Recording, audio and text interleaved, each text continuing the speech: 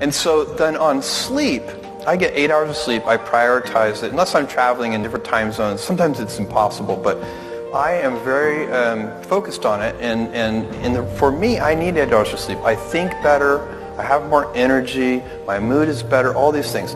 And think about it. As a senior executive, what do you really get um, paid to do? As a senior executive, you get paid to make a small number of high quality decisions. Your, your job is not to make thousands of decisions every day. So let's say that I slept six hours a day, or let's go really crazy and say I slept four hours a day. So now I just got four so-called productive hours back. So if I was going to, you know, have say 12 hours of productive time during any waking day, now all of a sudden I have 12 plus 4, I have 16 productive hours.